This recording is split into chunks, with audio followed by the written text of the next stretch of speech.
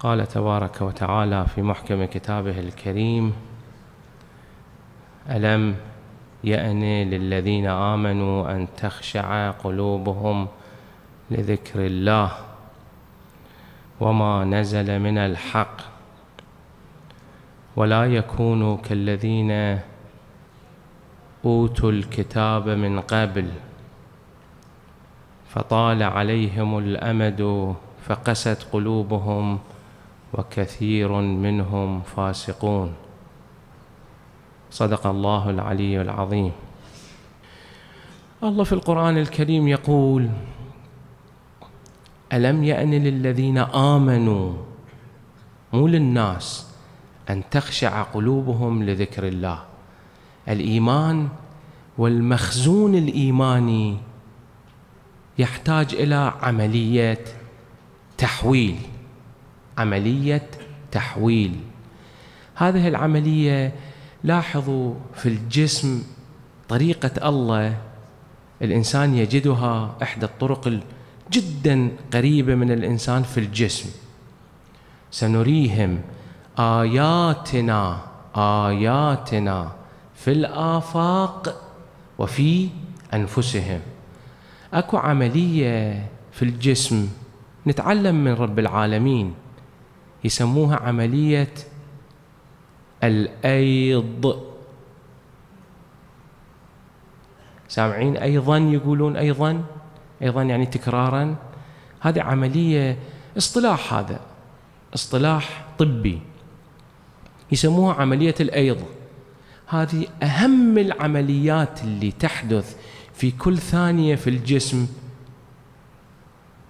من أجل تحويل المواد الحيوية في الجسم إلى مادة دثور وتجدد هذا يسموه. اقرأوا عن الأيض. أيض يعني عملية تحويل. الإنسان يمتلك مخزون من المادة الحيوية. هذا المخزون من المادة الحيوية خطير جدا. أهم عوامل الفتك بالإنسان هو هذا المخزون. هذا المخزون لازم يتحول. يتحول كيف عبر أمرين. ركنين أساسيين. هذان الركنان يسمى في هذه العملية تسمى الأيض عملية الأيض. وخلاصة عملية الأيض يسموها الدثور والتجدد. الإندثار والتجدد الهدم والبناء. هاي يسموها عملية الأيض. يعني المواد الحيوية بعضها تنحسر تحترق لتوليد طاقة في الجسم. إما طاقة حرارية إذا الإنسان يتعرض إلى برد أو طاقة حركية إذا الإنسان يريد يمشي يريد يركض يريد ينهض يريد يقوم يجلس. هذه طاقة حركية. وبعضها تتحول هذه المواد الحيوية إلى أنسجة إلى تغذية للأنسجة تغذية للخلايا. هذه يسموها عملية الأيض. هاي العملية من أهم العمليات في الجسم. المخزون الإيماني هكذا. المخزون الإيماني يحتاج إلى عملية أيض. هذا المخزون هذا حساب البنكي. يحتاج إلى عملية أيض. دثور وتجدد. تنحسر عنا ساعات شهر رمضان هذه الساعات في اللي قضيناها في الدعاء هذه البركات تنحسر لماذا؟ لكي تتجدد. المخزون يتجدد. تنحسر ساعات السهر في ليالي شهر رمضان أيام شهر رمضان. لازم يحدث انحسار.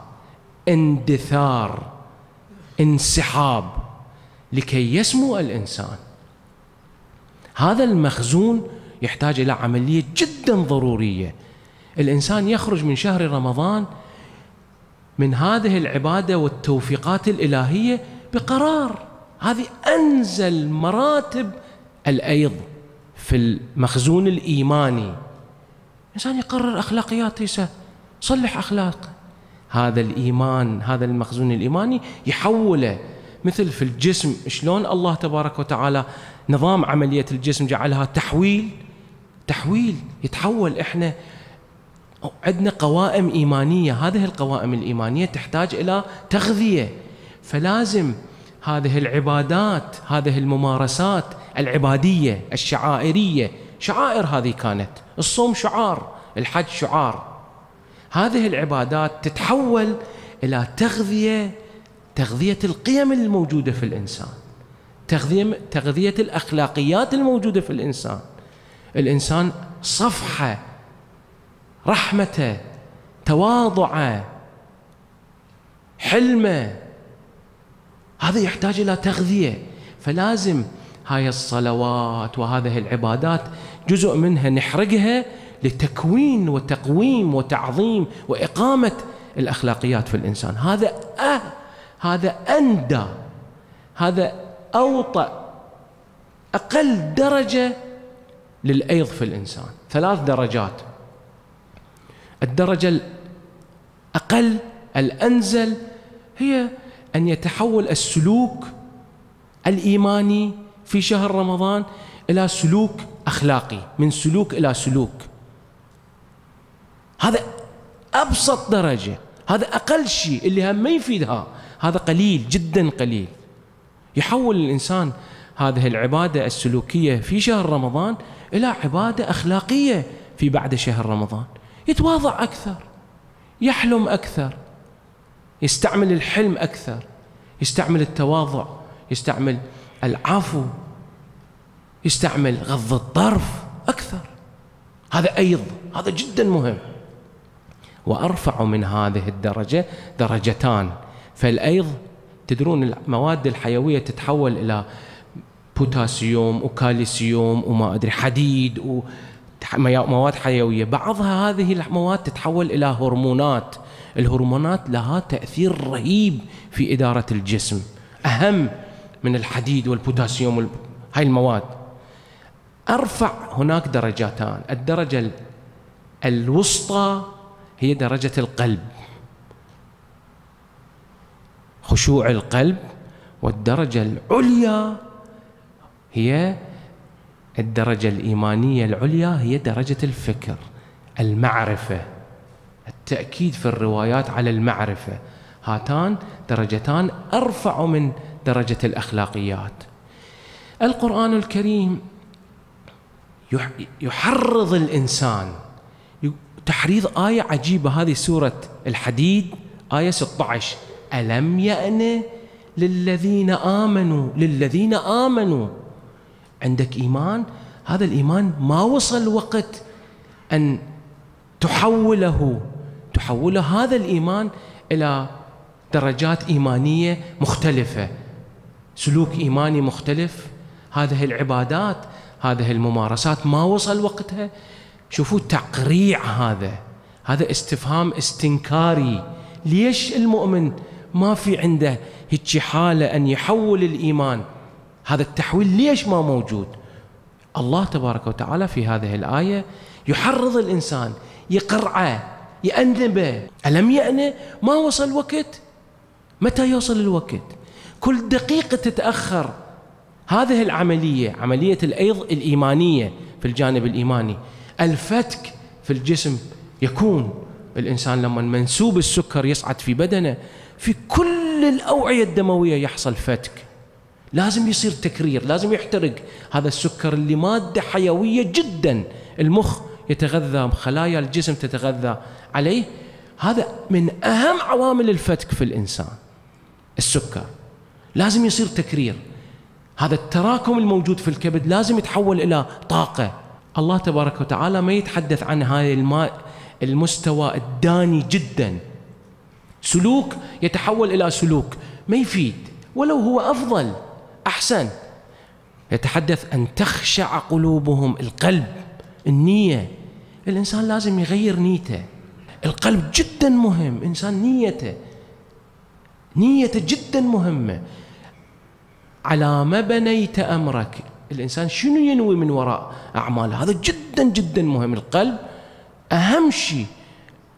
إن الله لا ينظر إلى أعمالكم ولكن ينظر إلى قلوبكم.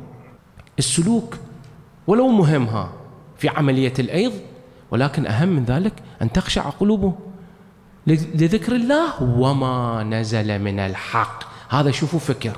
الحق شنو؟ الحق شنو؟ ما هو الحق؟ حقيقة هذه جدا جدا مهمة. هذا جدا خطير.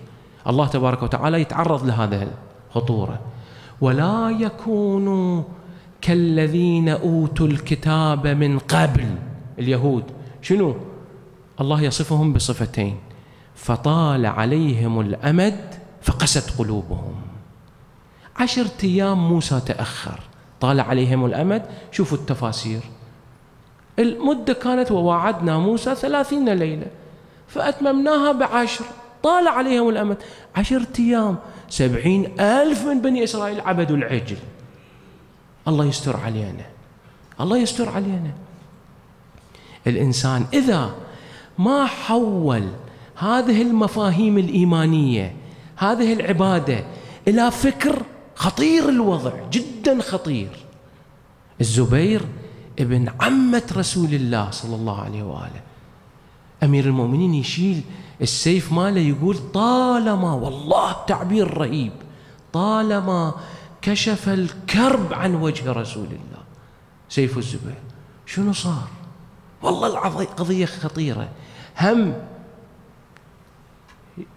جيناته جينات آباء رسول الله هذا الزبير ابن عمة رسول الله. يعني يده يصير يد رسول الله صلى الله عليه وآله. وبعدين سلوك هم كان عنده. سلوك كان عنده. طالما طالما رسول أمير المؤمنين يزكي كشف الكرب عن وجه رسول الله. سلوك كان عنده. سلوك إيماني رهيب. يدافع يكشف الكرب عن رسول الله. مو بس يدافع. ولكن وين وصلت حالته؟ اقرأوا التاريخ حقيقة تاريخ جدا مرعب. هذا شهر رمضان مخزون هائل. يقدر الإنسان يحول بس لازم الإنسان يبني على هذا التحويل. تحويل يحتاج أيض. لازم ينحسر عن العبادة شيئا ما. يندثر عنده السلوك العبادي. شوية يندثر شوية يقعد يفكر يقرر. هذا القرار الأساسي.